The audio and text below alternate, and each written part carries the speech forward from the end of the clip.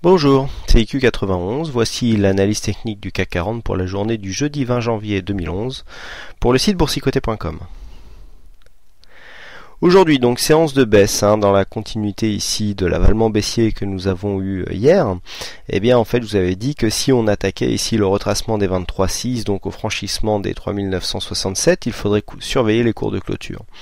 Donc c'est ce qui s'est passé aujourd'hui puisque nous avons ouvert déjà en baisse à 3972,83. Nous avons marqué un plus haut à 3989,03.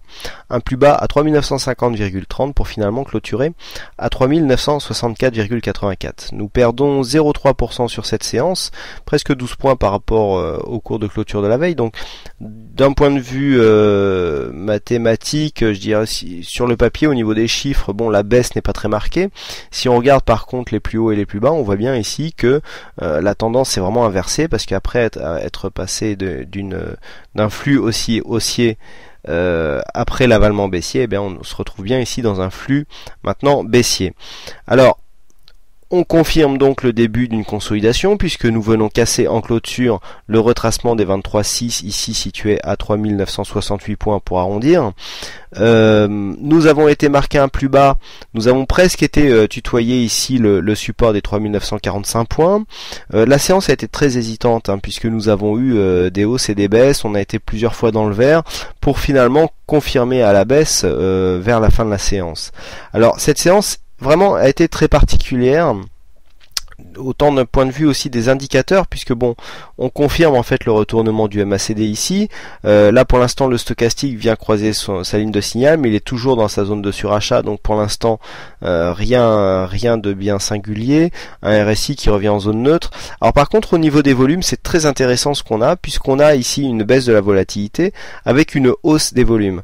Et D'autant plus que euh, cette configuration se vérifie si on ne regarde que les corps. Hein, je vous rappelle que ici la volatilité c'est un, euh, je dirais que c'est un indicateur, c'est un bricolage maison, hein, c'est ni plus ni moins que le, point haut moins le point bas.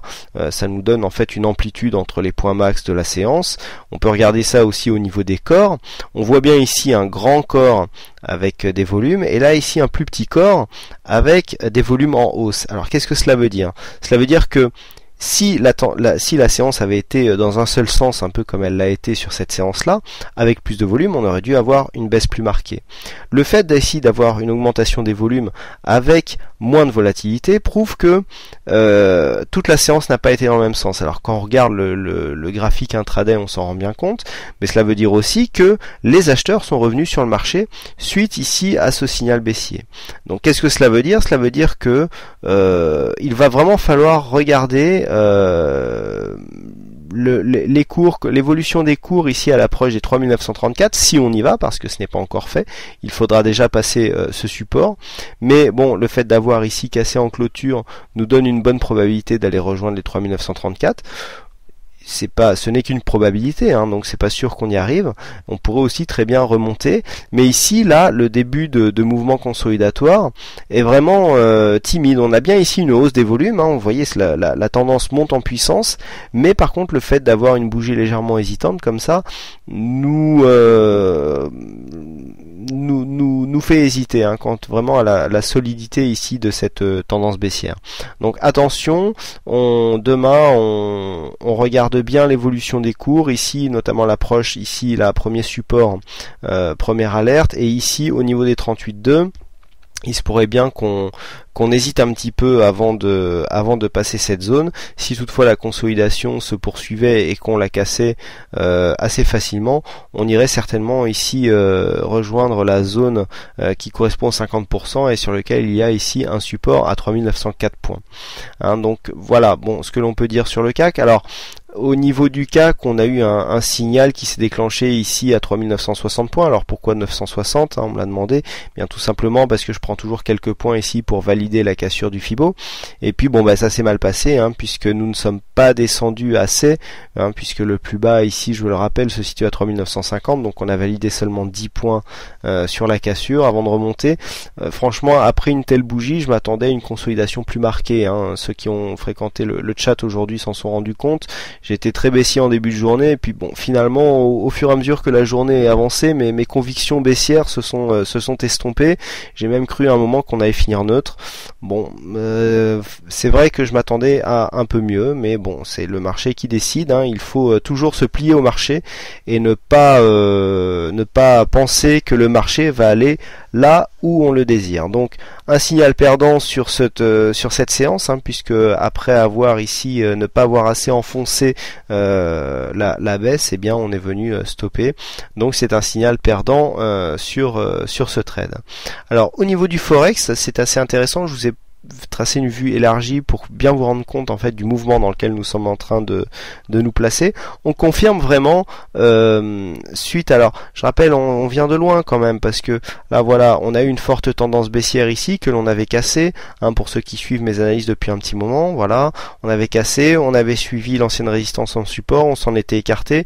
Et là, je vous avais dit, on va certainement partir pour un mouvement haussier on avait marqué un double top ici, on était venu chercher l'objectif, on était même descendu un poil plus bas, et puis là retournement, fin de la crise portugaise, on remonte sans pour l'instant valider euh, ici un retour au-dessus du double top, et eh bien c'est ce qui s'est passé puisque là maintenant nous sommes euh, dans cette euh, dans cette phase là, nous sommes venus casser ici et donc on est en train de confirmer la sortie, alors ça a été une longue sortie hein, de cette tendance baissière pour aller remonter un petit peu. Alors, si on se rapproche de plus près pour voir ce qui se passe, eh bien, tout simplement, qu'est-ce que nous avons eu aujourd'hui? Euh, Suite à la cassure ici des précédents plus hauts euh, lors de ces derniers jours, on est venu confirmer un petit peu. Alors, je vous avais dit qu'on n'était pas trop trop suracheté. Bon, il y avait le stochastique et le RSI qui étaient surachetés. Je vous avais dit qu'on manquait un peu d'amplitude au niveau du MACD. Eh bien là, cette fois-ci, ça a consolidé euh, alors que, que je pensais qu'il n'y avait pas assez de pression vendeuse. Donc, on est venu consolider. Il y a eu des soubresauts là dans la journée. Là, on remonte. Et ce qu'il est intéressant de constater, c'est que vous voyez si je place mon curseur et donc on suit le, trait rouge, eh bien au niveau des 1.34, euh, la zone qui était ici, euh, qui était ici euh, résistance, hein, on voit ici les plus hauts. Alors là, on a fait une attaque, mais c'était une sortie manquée. Le plus haut de cette bougie et le plus haut de cette bougie, on avait une résistance qui ici s'est transformée en support. Hein. Vous voyez ici aussi dans cette zone là, eh bien la zone, on a eu plusieurs attaques avant vraiment de, percer. Et eh bien là, on est venu s'appuyer sur la zone des 1.34 euh, dans ce mouvement ici de consolidation, après ici une bougie euh, qui, qui, commence à, devenir bien haussière, pourquoi pas euh, valider en ayant en allant marquer des nouveaux plus hauts. Donc on est toujours ici dans un mouvement haussier, puisque si on trace une ligne de tendance qui passe par les plus bas, vous voyez alors euh, euh, on, cherche un petit peu les plus bas. Voilà. Là, on a eu une tentative de cassure. Là, jusque là, on était ici sur un mouvement haussier. Alors, il va falloir voir maintenant si cette bougie va nous permettre de réintégrer la tendance ou si on va euh, prendre le même le même genre de, de mouvement que ce que nous avons eu auparavant, à savoir ici cassure. On se sert d'ancien support comme résistance et ensuite on, on confirme à la baisse. Donc ça, c'est ce qui va être à surveiller pour les prochains jours.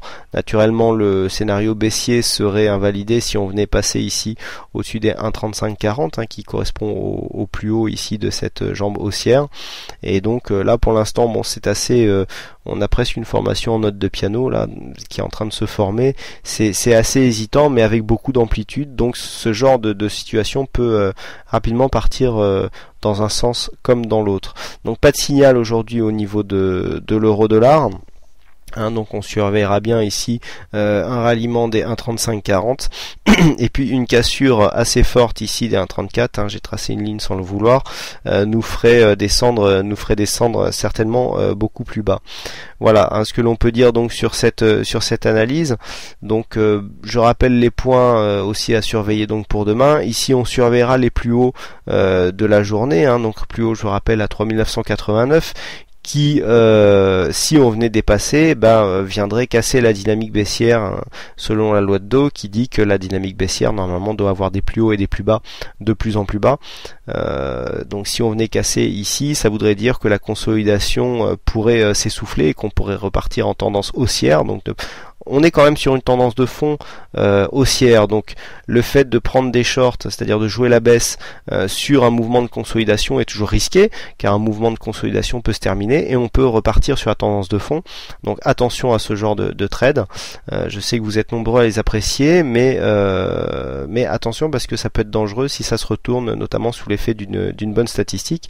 Eh bien, on peut avoir des mouvements assez violents de reprise en tendance et ça peut faire très mal si on est dans le mauvais sens. Voilà donc ce que l'on peut dire sur cette analyse du jour. Ben, il ne me reste plus qu'à vous souhaiter à toutes et à tous euh, une bonne soirée. Merci encore pour votre attention, euh, pour vos nombreuses visites euh, sur le site boursicoté.com et notamment sur le chat ainsi que sur le forum. Je vous souhaite donc une bonne soirée, bonne chance dans votre aide et je vous donne rendez-vous dès demain pour une prochaine analyse. Bonsoir.